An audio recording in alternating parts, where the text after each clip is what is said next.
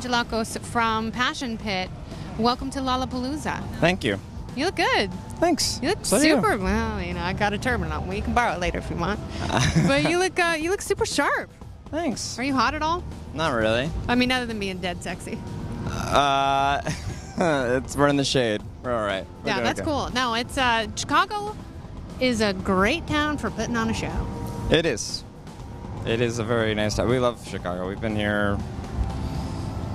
Uh, I think I think we've played as many shows here as we have in our hometown and, and in New York, and it's uh, Where do you get the best reception right now? On your phone. uh, I don't really know. Uh, we haven't toured in a, in a while, so well, I guess that's still to be determined. Yeah. And Then you put some shows on hold. Is everything going in a good direction? Yeah, You feeling better? yeah. Thanks for asking. No worries. I was I was worried about you because I know that you are an artist, and there is a great deal of sensitivity that comes with that. And Yeah, this has nothing to do with that, but you know, it's just I'm a human. That's, And I appreciated your honesty about that. I really did. yeah. Oh, thanks. Yeah.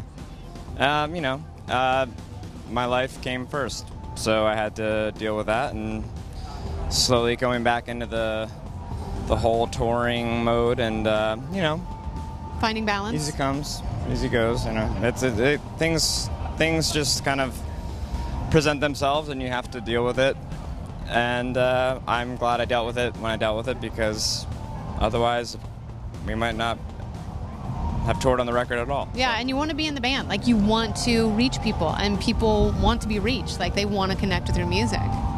I hope so. I mean, that's the goal. But uh, you know, I I, th- I just think it's important that if any if there's anything to be learned from the whole situation, it's that at the end of the day, you have to take care of yourself, and uh, and I, I'm you know I'm I'm I'm I'm glad I did. I still am. I just, I, it's it's a, a very long process.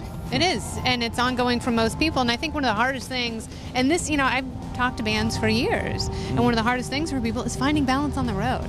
You know, Yeah. I, I talk to so many people, and it's it's a life that any music fan, especially as a kid, that you just idealize. You know, you look at someone who's touring and making music, or think, "That- romanticize. Yes. Yeah, they, they, they it's it's just it's way way way over romanticized and uh, it's not as fun and easy as it seems. But I mean, it's also a, a really f- it can be very fun and can be great. So Yeah. you just have to find what works for you. you know? You, you know what? What adjustments have you made on the road to ensure you don't over romanticize your own life? Well, it's not. uh, uh, It's just about. Um, Yoga. being having a having a really strict schedule and going to sleep at a good hour and waking up at the same time and and it's mostly about what happens when you're not on the road. That's the mo- that's the most important thing.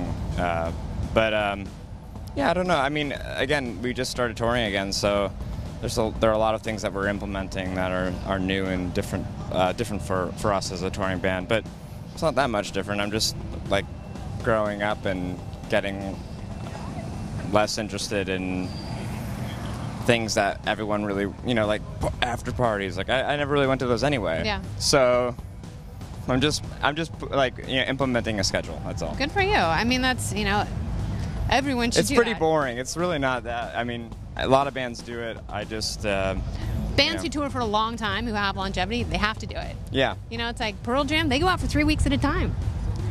That's nice. That's Yeah. that's that's very nice. It's great because they all have kids, and you know, they've been together for 20 years. Yeah, they've been together for a long time. Yeah, at least 20 years. No, they've been 21. All right, well, uh, Michael, I'm gonna go see you. Oh, awesome. Yeah, cheers. Cheers. Thanks Passion so much. Pit.